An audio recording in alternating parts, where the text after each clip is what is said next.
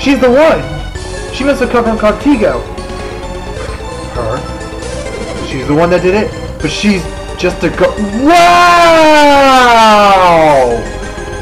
Damn, Moapa! You are sexist as all hell! Well, you wanted to stand advantage, so- And she doesn't even comment on the fact that Moapa was sexist! Damn! Wow!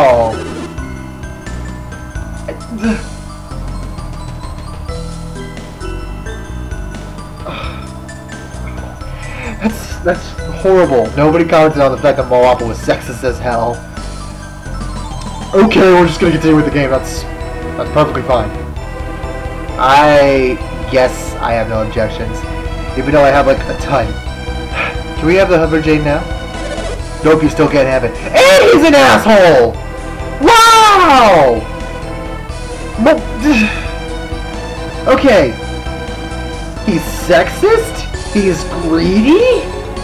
What isn't he? How the hell did this guy become a shaman? Why? Why would you give the title of shaman to this guy? Wow. Wow, just, just wow. What? Why not? Was just a test to see if you earned the right to take the test to earn the stone. Moapa, I'm just done with you. I am just completely, utterly done with you. And my voice cracked. I do not care. I'm just done, Moapa.